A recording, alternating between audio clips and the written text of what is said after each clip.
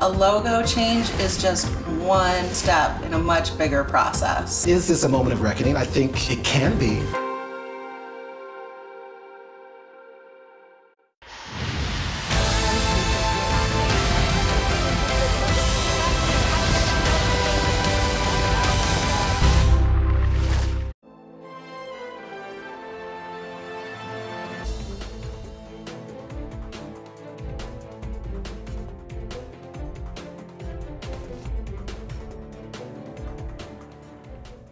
Hello, everyone. I'm Elaine Quijano. It's good to be with you. Thanks for joining us.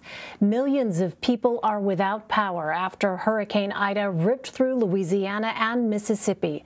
The Category 4 hurricane made landfall Sunday afternoon along Louisiana's southeastern coast, bringing sustained winds over 100 miles per hour.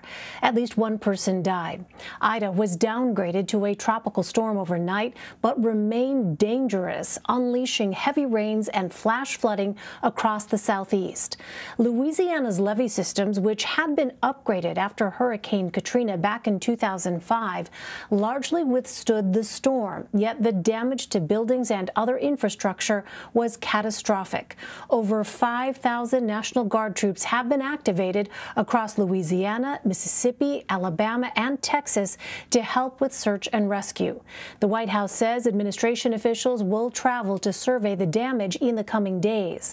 At a briefing with FEMA and local officials Monday, President Biden pledged the full support of the federal government. Folks get knocked down. We're there to help you get back on your feet. The most important element, though, is coordinating all the branches of government state, local, and federal. And that's what we're trying to make sure that we tried to do before this hurricane hit.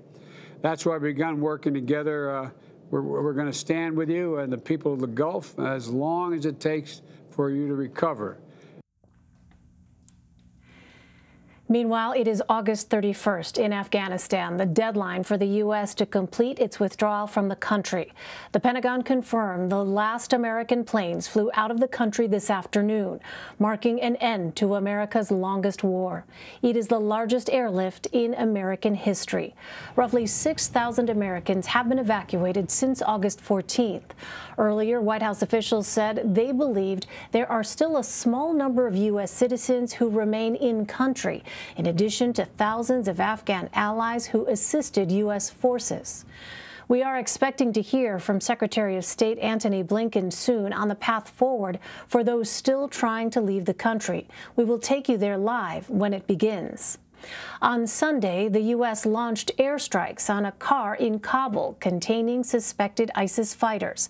But relatives tell our partners at BBC News the strike killed 10 civilians from one family, including six children as young as two years old.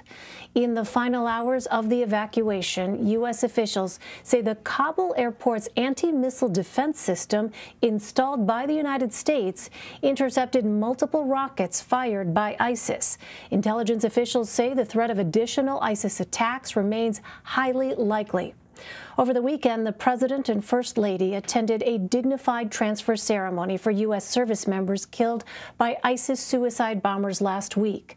The remains of 13 service members were returned to the United States, met by their loved ones at Dover Air Force Base in Delaware. President Biden met privately with the families of those service members.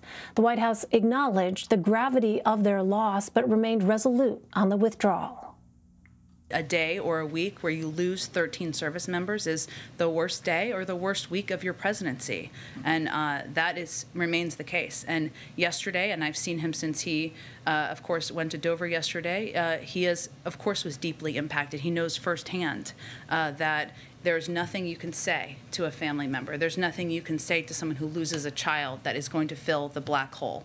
That